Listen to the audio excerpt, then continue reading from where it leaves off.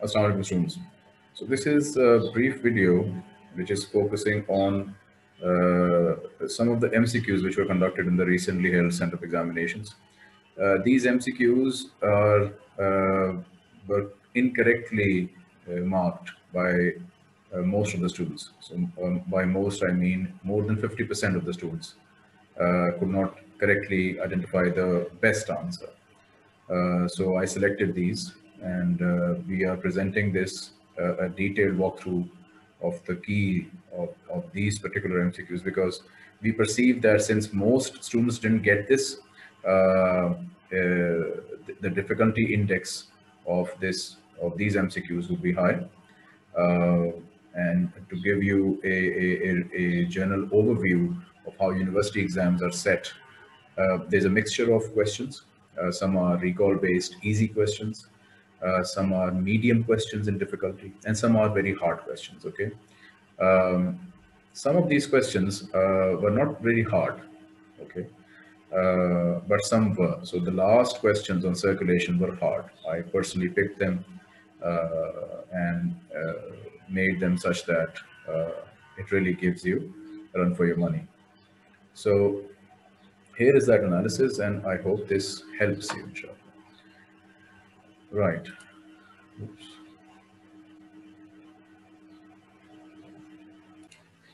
Okay, before we start, uh, this particular MCQ, which by the way, you all got a honorary mark for, uh, I beg your pardon, the ones who either selected A or B got, uh, got marks for it.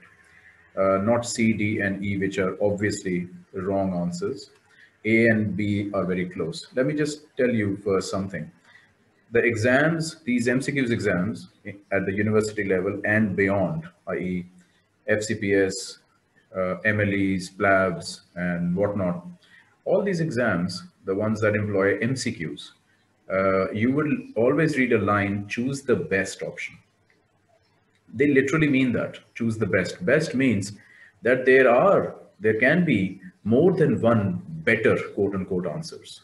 Okay. But really the best would be uh, a single one out of those closely uh, running better uh, uh options. Okay.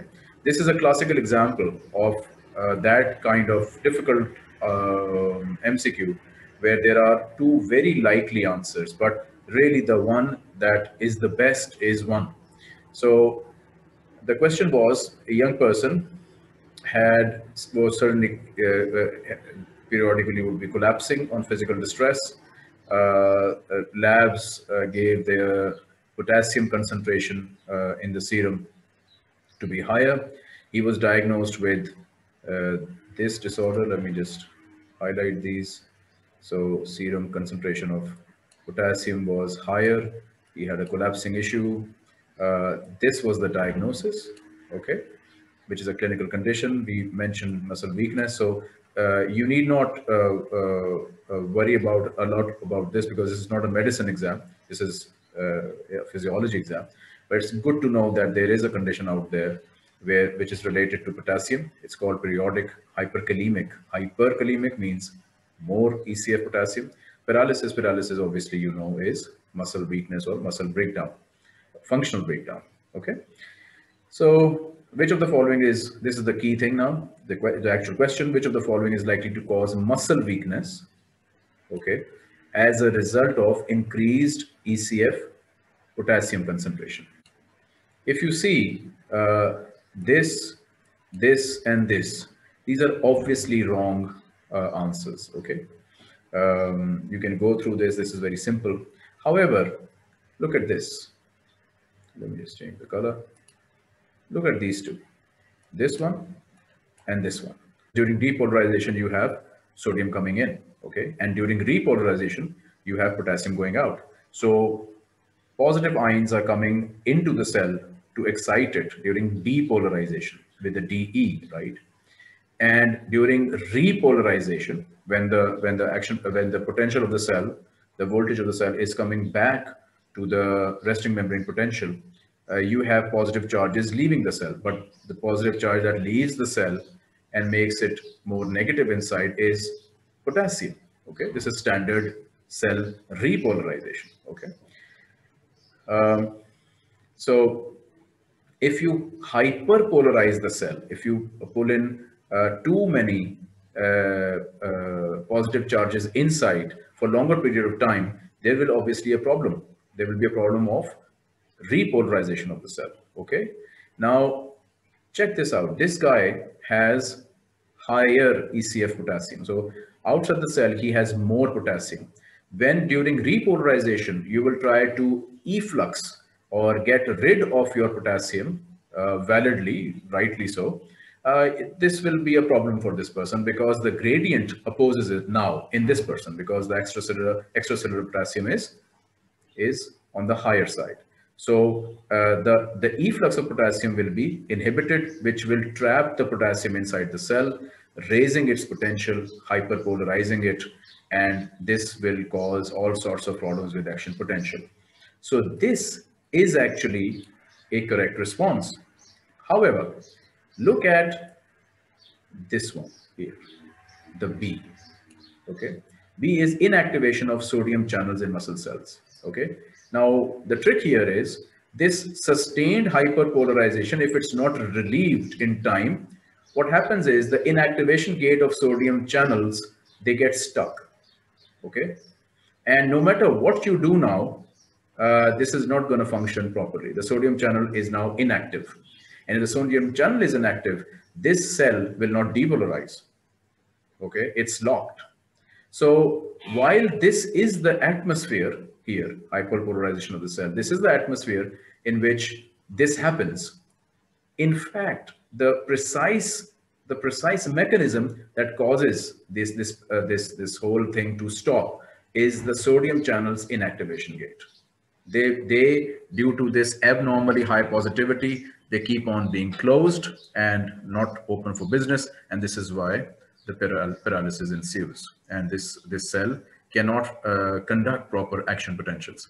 This is a classical example, uh, students, of uh, two of the options being correct, but really one was the, uh, the best one, all right? So we started from this. okay, so this is uh, the second one. Uh, this was incorrectly marked by 67% uh, of the students. The question is, uh, there is a reduction of uh, arterial O2, partial pressure of oxygen, okay? and which of the which one of the following uh, will have a reduction of uh, the arterial tension in the blood. Now, anemia is uh, not correct uh, because in anemia you have a problem with the RBC count or the hemoglobin amount. The problem is not uh, O2 saturation or O2 tension. Carbon monoxide poisoning is incorrect also is because we know, and I've taught this multiple times, uh, that the problem is is with bound hemoglobin bound oxygen not dissolved uh, oxygen, and it's the dissolved oxygen which basically uh, uh, generates the PO2 as you as you as you know it, the partial pressure of oxygen. Uh, in moderate exercise, again, it's incorrect. Why? Is because uh, in exercise, just strenuous exercise, and that too at seriously strenuous levels, does the PO2 falls uh, below this through through your through most of the spectrum of exercise. The PO2 is is, uh, is maintained uh, by uh, many overarching mechanisms. and if you are looking at respiration only, the depth and rate of respiration is enhanced uh, such that and blood flow is enhanced by increasing cardiac output. So all this comes together uh, to give you a stable PO2. So this is incorrect. Cyanide poisoning is obviously incorrect.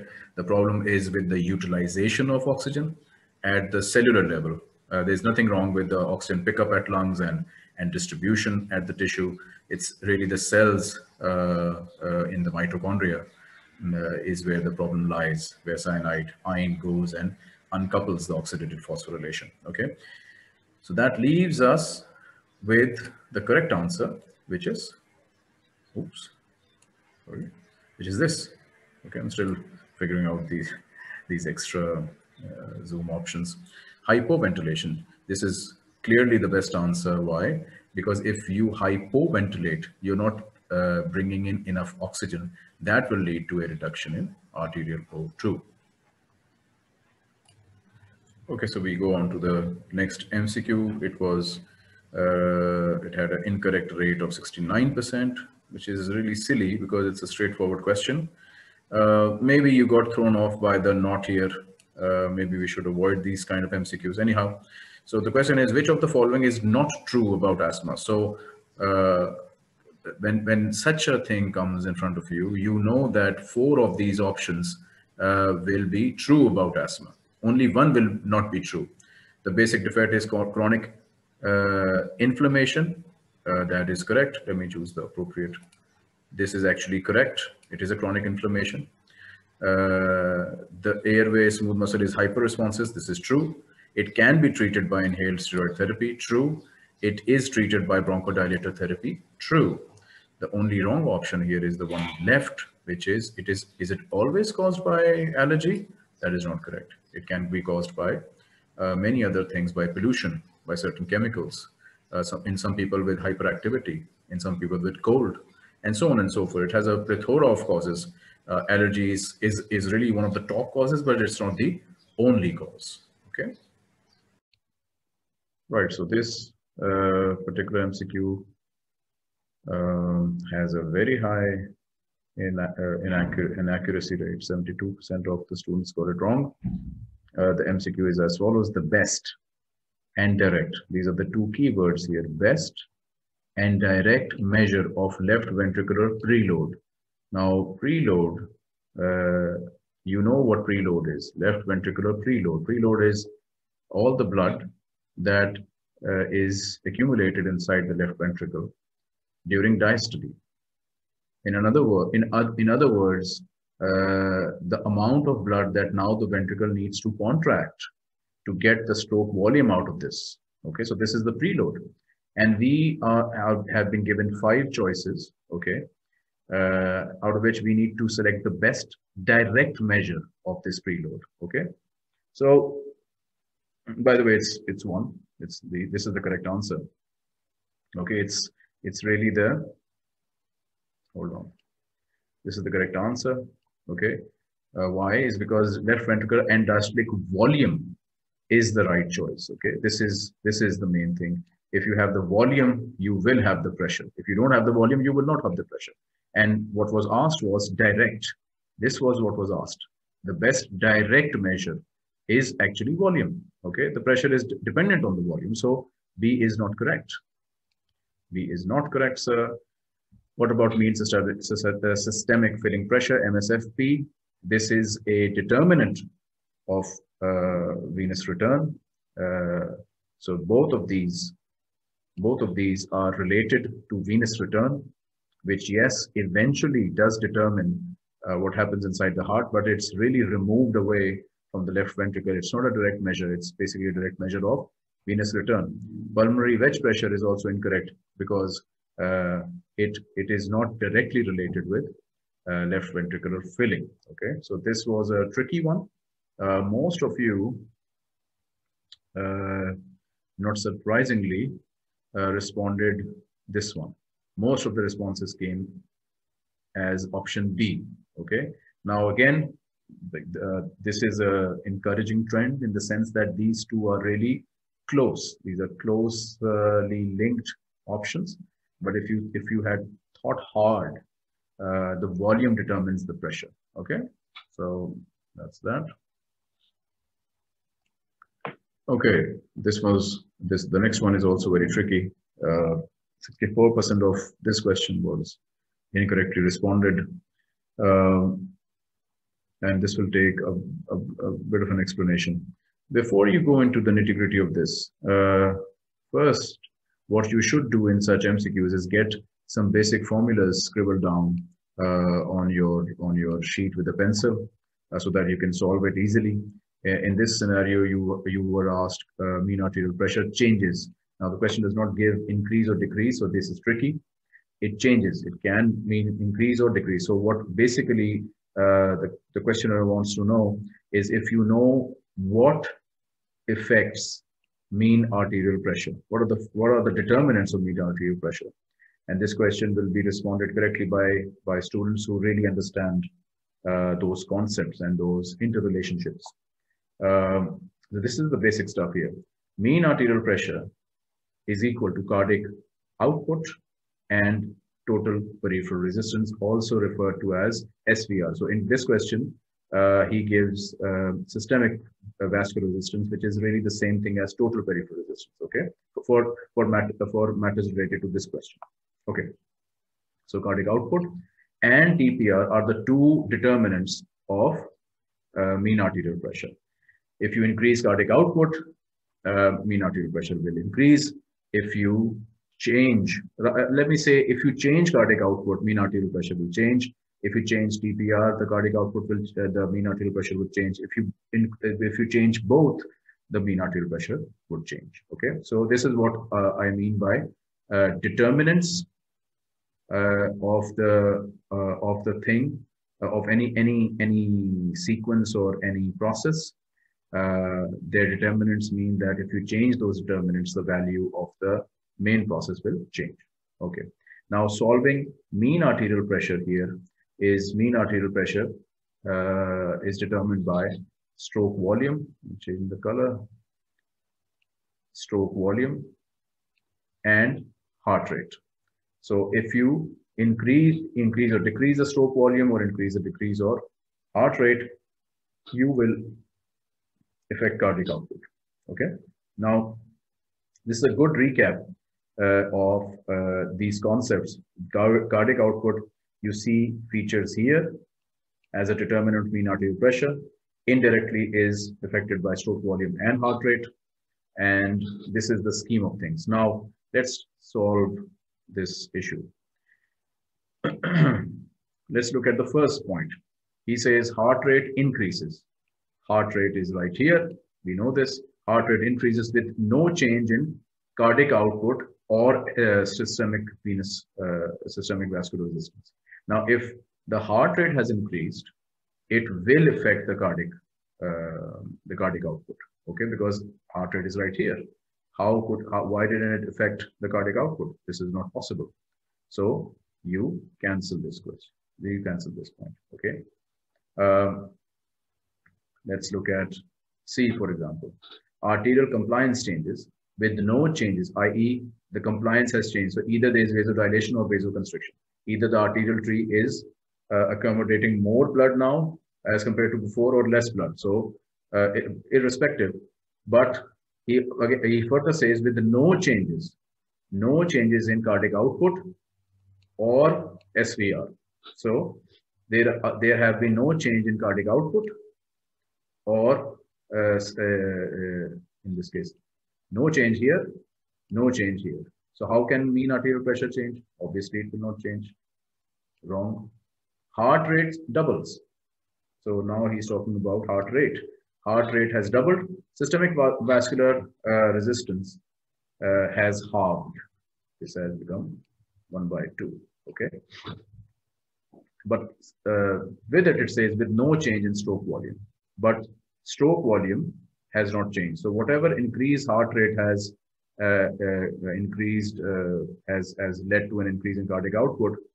Uh, the vascular resistance, which was halved, which was decreased, basically balanced it out. So cardiac output did increase in this situation because heart rate has increased. Yes, you see the relationships here. So it, it did increase, it got doubled, but this was halved. Again, this will not change. This is, D was quite tricky, so it's wrong, but a good one. Then you have E, arterial compliance doubles, and systemic uh, vascular resistance is halved with no change in heart rate. Heart the arterial compliance has doubled. So it is uh, uh, accommodating more blood now. Uh, but at the same time, resistance has halved. Okay, so you have opened up the gateways and there has been no change in heart rate. So no change in heart rate. He does not mention stroke volume. So cardiac output is all right. Uh, the whole game is around total peripheral resistance, but with no change in uh, cardiac output. So while uh, this individually uh, would have changed mean arterial pressure, so if we were to double the uh, compliance of the arterial tree, this would have independently, this would have increased mean arterial pressure, right? Or, or if we were to only halve the systemic uh, resistance, vascular resistance. So TPR uh, uh, is the same thing really. So TPR is halved as, as I mentioned here. If this were to be done independently, right here, this would have decreased mean arterial pressure, okay? But, so what you are doing is you are decreasing this, okay? And increasing the mean, uh, the compliance of the, of the arterial tree, which now holds more blood than usual. Uh, so the pressure is increased, okay? But when you put this with this together, they neutralize each other and you have mean arterial pressure is again unchanged. This again is a good one, but it is incorrect in this particular MCQ because it won't change. So only now the only thing which is uh, left is the correct option, which is B. Uh, I, I uh, let me just add something. Uh, you have done this, this, and this with no input from the heart. So the heart is a neutral stand standby. Heart is not involved in option E. The, everything is related to vasculature. So people who, who really understand their circulation would have would have enjoyed this particular uh, bit. Now coming to the correct one, stroke volume changes. So the heart puts its uh, puts uh, its input. It changes the stroke volume. Uh, the heart rate doesn't change, and neither does the uh, systemic vascular resistance. So uh, this here is increased or it or sorry it's changed uh, which then changes the cardiac output this remains the same but since this has changed it has increased cardiac output with this being constant the net result is increase in mean arterial pressure option b is correct let's move on to this uh, MCQ. 65% of the student body did not get this right. Uh, I have little idea why this was the case. Although it did require some analysis, probably that was the reason. Uh, let's start from option E and let's go up. Uh, the question is blood flow. So it's about blood flow to organs. So we are talking about local blood flow. Okay, local control of blood flow is controlled, is primarily, the word is primarily controlled by sympathetic nervous system rather than local metabolites. So uh, the demarcation is this, this versus sympathetic nervous system versus local metabolites. So th with this in mind, again, please read the question uh, in detail, focus on the question, what is, what are they asking? We are talking about blood flow, primarily is the point, blood flow primarily, sympathetic nervous system and local metabolites. So the comparison is between this and this now. Kidney. Kidney is not correct because kidney is auto-regulated. We know this, okay? Skeletal muscle during exercise is mainly controlled by local metabolites and this is not correct either. Uh, we are looking for sympathetic, remember? Brain, again, is local metabolites. Heart is dual, both uh, sympathetic and local metabolites. Uh, so not primarily controlled by sympathetic, no. It's mainly uh, uh, by local metabolites, although sympathetic nervous system does play a part. Incorrect. Skin indeed is the right answer because in skin, you have sympathetic nervous system as the main controller of its blood flow. A whooping 73% got this wrong, uh, which is not good. It was a beautiful MCQ, um, typical it checks your overall knowledge of the cardiovascular system, and it wasn't very hard. Okay, uh, let's go through it. Uh, we have a mild hemorrhage, compensatory response. You know what happens first. The acute most uh, uh, mechanism is baroreceptor reflex. It keeps the blood pressure at or close to its normal value.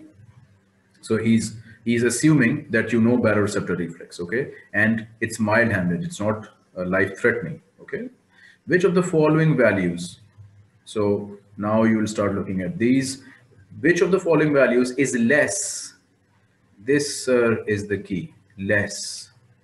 This is the key. This is the main question. Is less after, this is another key point, he's talking about after. The compensation for hemorrhage uh, was achieved, then it was before hemorrhage. Any, uh, when this has done its work, which of the values of these five would be less than it was before the hemorrhage? Okay, it's a nice, uh, I would say straightforward with a slight twist in it, but but not not uh, not enough difficult to for a for a class which has a uh, let, should should I rub in the merit and the position of the college? Uh, you know what I what I typically say in the class. So uh, assume I've said that. And let's move on. Again, we'll start from E to A. Uh, coronary blood flow. Would should coronary blood flow be less?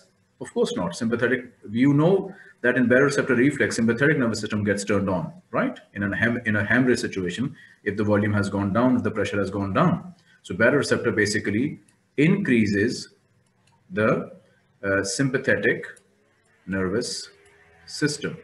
My writing is better than that, but this is the tool that I have right now. So coronary blood flow will increase, sir. It will not decrease. Total peripheral resistance obviously will not be less. It will be more because that's the effect of sympathetic nervous system. Ventricular contractility under sympathetic nervous system will obviously go up, not decrease. Neither will the heart rate. It will go up Ah, now comes the correct choice, which is venous compliance. Venous compliance will go down. Yes. Now, this is the twist. And it's not a very uh, horrible twist. It's a very good twist. You, we know that sympathetic nervous system squeezes the veins. It vasoconstricts. There is venoconstriction going on in the veins on the venous side so that you squeeze extra blood which was stored in these reservoir vessels so that it becomes available as preload and the heart has more blood to pump. So obviously the you when you vasoconstrict something, the compliance goes down and he has asked you down, right? So venous return is the correct answer. Okay, the next one's uh, inaccuracy ratio is 62%. Uh, it's heartening to see that uh, a decent amount, a number of people got it right. It is a hard one.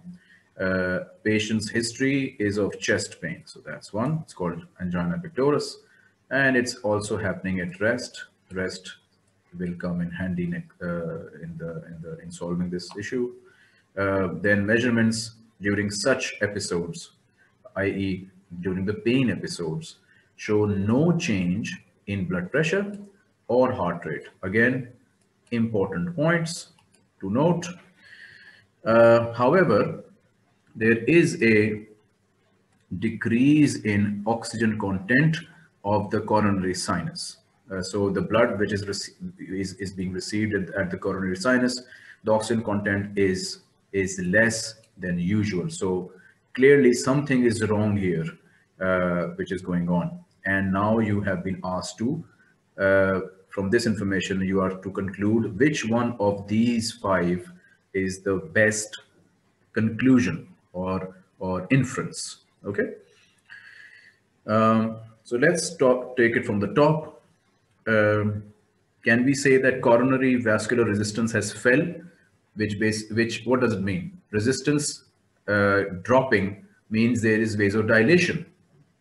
If there is vasodilation, uh, first, why would there be vasodilation when the heart rate is constant? Vasodilation usually occurs when there are local metabolites, vasodilatory metabolites at higher heart rates.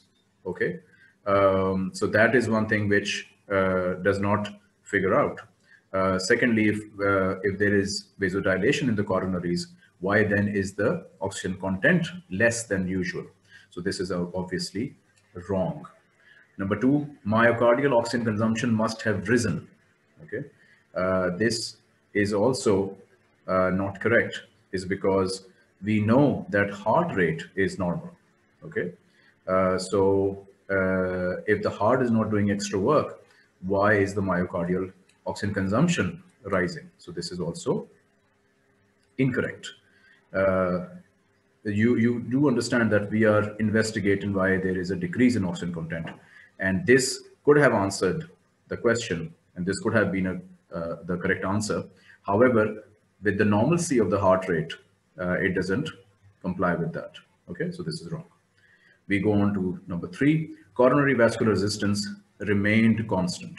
Okay, if it remained constant, it does not explain the decrease in uh, uh, oxygen content of the coronary. Okay, why was the oxygen less in the coronary sinus? Okay, this is not correct. Um, this, however, is interesting. Coronary blood flow must have decreased. Okay, so check this out. The dude has chest pain. So clearly there is something wrong with the heart.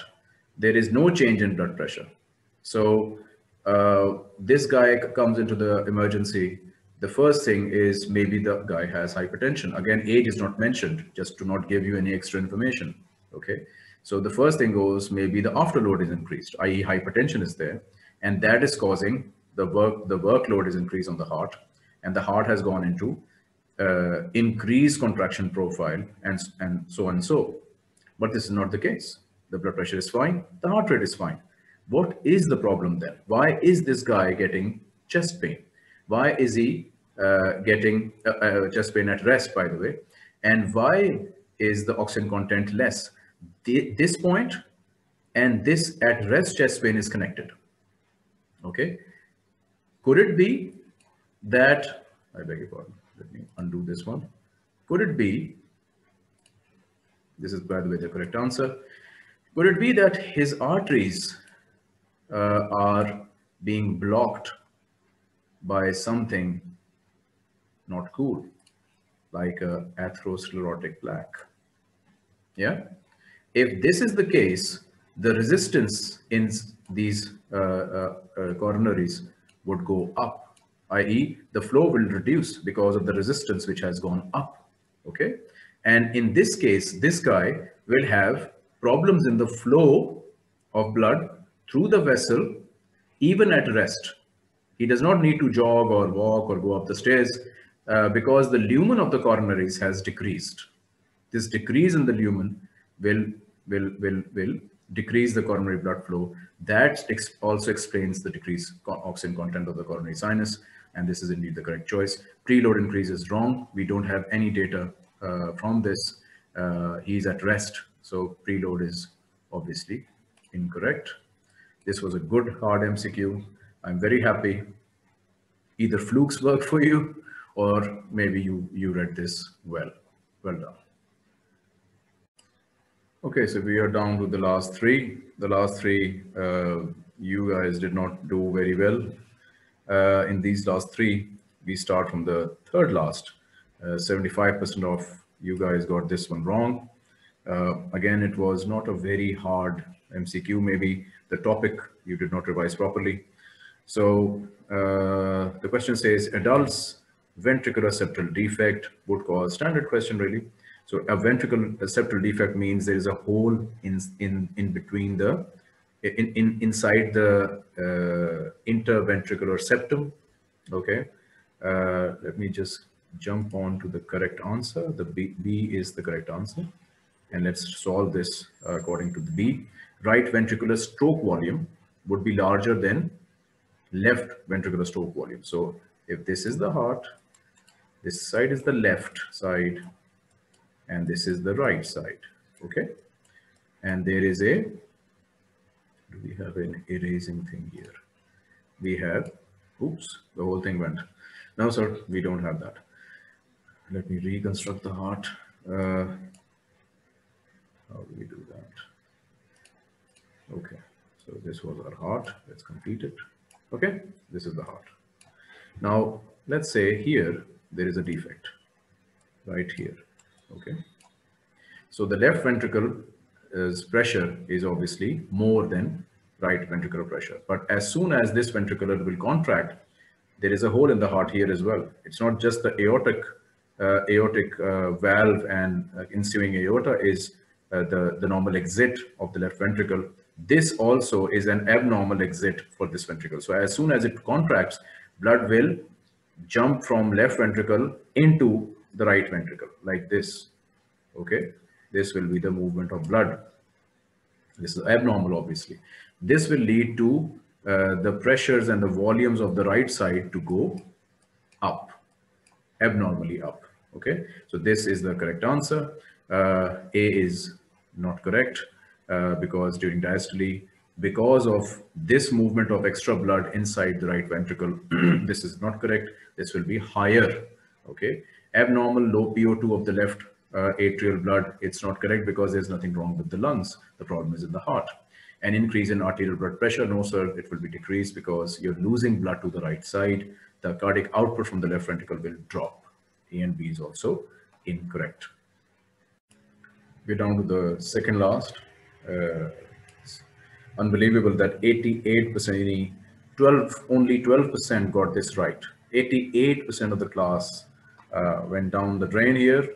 Um, again, this is puzzling. All it needed was a bit of a concentration. Uh, and maybe I'm speculating here that you guys did not follow my advice of doing MCQs.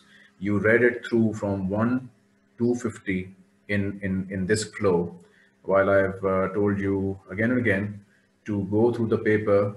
The first, the first reading should be the obvious recall based easy MCQs that you know, just get them out mark them and just get them out of the picture. So psychologically, you know that it's not 50 questions anymore. It's less than 50. In the second read, you have you, you should uh, uh, attempt the slightly more complex ones, uh, not the scenario ones. The scenario ones you leave for the, the third read, which will require some of the analysis. However, this uh, this I I would say uh, before you, you testing you, I would have put it in the second read but looking at the result, it looks like it is a quote unquote scenario uh, in its own, although it shouldn't be the case. So we're talking about central venous pressure is increased. So we have now committed that we are looking at CVP going up. Okay. Now, what what what do we have? We have the option A, increased total peripheral resistance. Now, guys, if you have uh, TPR, which is increasing, you will have increase in blood pressure. Okay. Uh, it, it directly does not have an effect on uh, central venous pressure. And we are talking, whenever we talk, look, everything is related to everything. Okay. But we are talking about immediately, the immediate precursor. So total peripheral resistance, immediate precursor is the heart itself. It's the, it's the cardiac output. It's, uh, it's, in fact, it's the blood pressure. Okay, the central uh, total TPR is a component of measuring the arterial blood pressure. If it goes up, blood pressure goes up. All right. So this is uh, this is wrong on that uh, on that count. Increasing venous venous compliance. If you increase venous compliance, what do we mean? What we are saying is we are vasodilating the the, the veins. What will happen? Blood will pool in the veins Yes, if blood pools in the veins, it does not go up into the right vent uh, the right atrium where we are measuring the central venous pressure, right? So if you are pooling the blood in the veins, the, the, the amount of blood which is entering into the right atrium and making your central venous pressure will drop. So this is also incorrect. Uh, decreasing heart rate. Now this is interesting. If the heart has slowed down, it's not clearing out the blood that is coming in at the normal rate that it should, then there is pooling of the blood inside the heart. And obviously, heart includes the right chamber as well. So if there is pooling of the blood on the right side, CVP goes up. Bingo. This is the answer. This is the correct answer. And we uh, will, will finish it off by uh, looking at why these are incorrect decreasing plasma aldosterone. What does aldosterone do? You need to know this, right? Aldosterone, this is why MCQs are tricky, but bacho, because you have to know each and everything in these. So if you did not revise your aldosterone, then you will be confused between this and this, okay? Now, decrease, uh, aldosterone, what does it do? It retains salt and water. For first years, this is enough. When it retains salt and water, it increases the ECF volume okay, which then increases blood pressure. Okay, this is, uh, let me just get this right. Okay, so decreasing it will just, will just reverse this. It will decrease this, it will decrease blood pressure, everything goes down, you don't have enough volume. And this is crucial. When you have less volume, central venous pressure will also decrease, not increase. So this is wrong.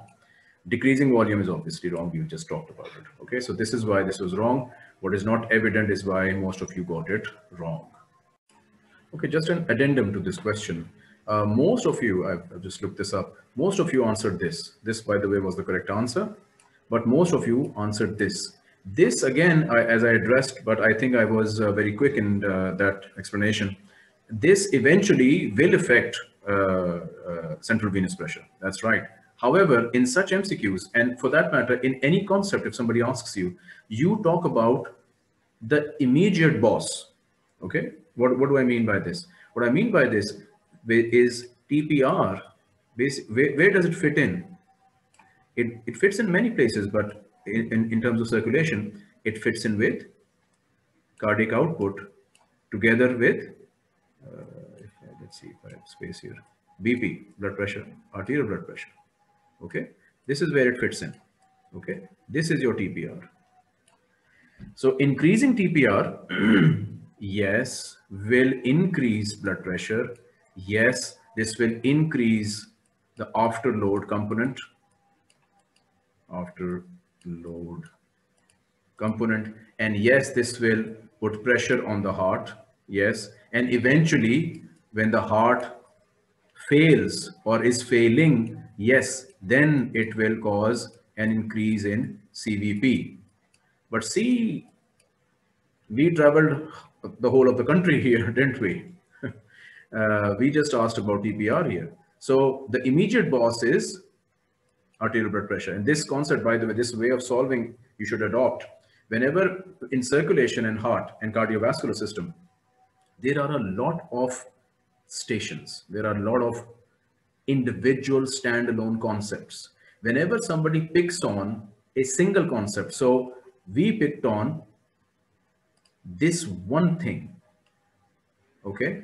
Now the, the, the, the these MCQs are hard to make and harder to solve, I would I would admit, because central venous pressure is controlled by so many things from the from the from the venous side of things, from heart itself, and from the arterial side of things. Okay, so so granted, these are the uh, the, the, the challenges of making such uh, questions and, and answering such questions.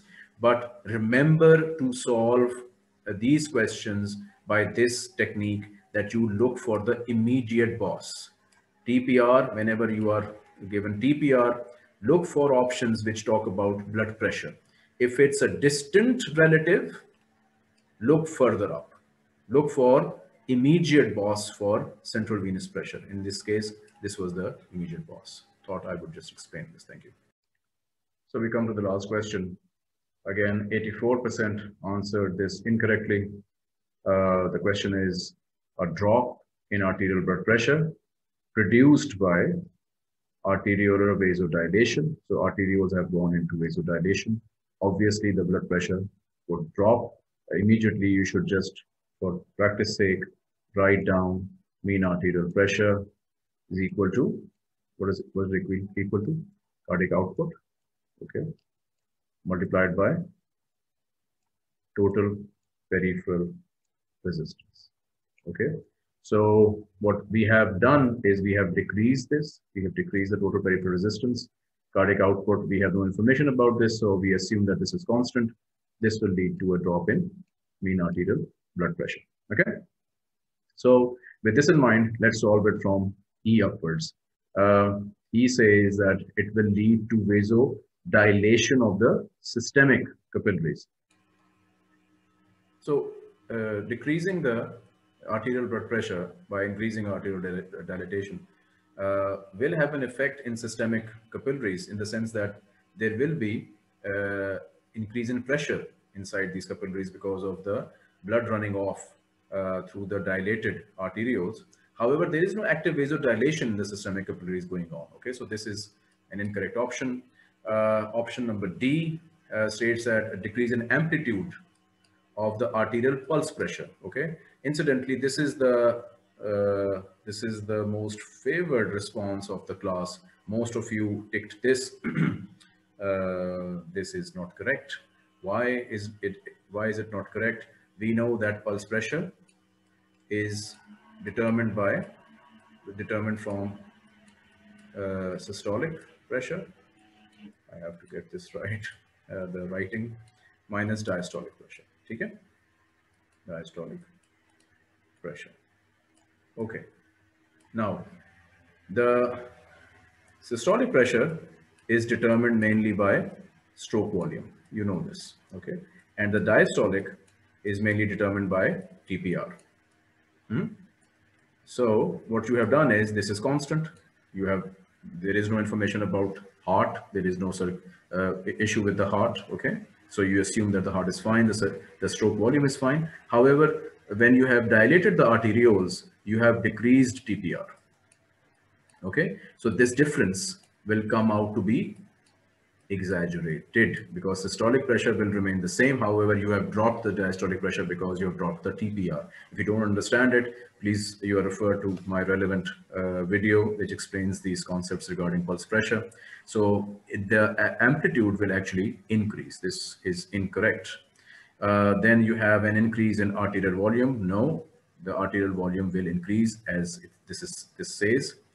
Um, I, I beg your pardon. It will decrease because uh, what will happen is you have vasodilated the arterioles, the blood will run out of the uh, arterial side of the circulation quicker. So there will be a drop in arterial volume, not an increase. No change, no sir, there will be a change, it will decrease. And then we come to the final point, which has to be correct. Uh, the, there is an increase in venous volume. Why? Because you have opened up the gates of the arterioles, blood is moving out of the arterioles quicker and more in volume through the capillaries and onto the venous side. Okay, so the venous side of circulation will increase in, in its volume, and this is the correct answer. Assalamu alaikum. This is feedback on few of the MCQs of first year standard exam.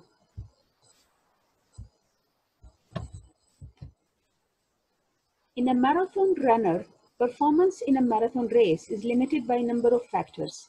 The factor considered to be critical for high-level performance is muscle ATP content, adequate fat stores, high muscle glycogen content, high muscle oxidative capacity, high percentage of type 2 muscle fibers. The correct answer is high muscle oxidative capacity because more than 95% of energy used by the muscles for long-term contraction, like a marathon race, is derived from oxidative metabolism. The first option in which muscle ATP content is incorrect because the, the concentration of ATP in the muscle is only sufficient to maintain contraction for one to two seconds only. The second option is also incorrect because for a prolonged contraction for about two to four hours, half of the energy is derived from stored carbohydrates. So adequate fat stores is not essential factor or important factor for maintenance of high level of performance. Option C, in which high muscle glycogen content is also incorrect. Why? Because glycolysis usually loses its ability to maintain maximum muscle contraction after one minute. Why? Because there is accumulation of end products after glycolysis. And the last option, E option, is also incorrect because type 2 muscle fibers, they have less number of mitochondria and therefore oxidative metabolism is of secondary importance in this type of muscle. The second MCQ, if a person lifts weights routinely, the muscles involved in the lifting, they undergo hypertrophy and become capable of generation force. The best explanation for these adaptations is increased length of muscle fiber, increased maximal velocity of contraction, increased number of fast twitch fibers in the muscle, increased number of sarcomeres arranged in parallel, greater activity of the myosin ATPase. The correct answer is D. Why? Because when the person lifts weights routinely, that means that the muscle regularly contracts while it is loaded because of the weightlifting, and that leads to hypertrophy. In hypertrophy, there is increased synthesis of both myosin and actin. Additionally, the, some myofibrils, they split to form new myofibrils. So the correct answer is there is increased number of sarcomeres arranged in parallel.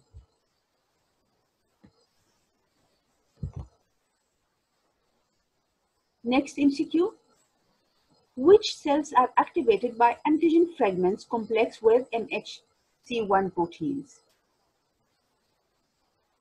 CD8 T cells are the cells which are activated by antigen complexed with MHC1 proteins. MHC1 is specific to cytotoxic T cells. MHC2 is specific to helper T cells, whereas B cells, they recognize intact antigens. So they don't need MH, uh, uh, they don't need MHC1 or MHC2.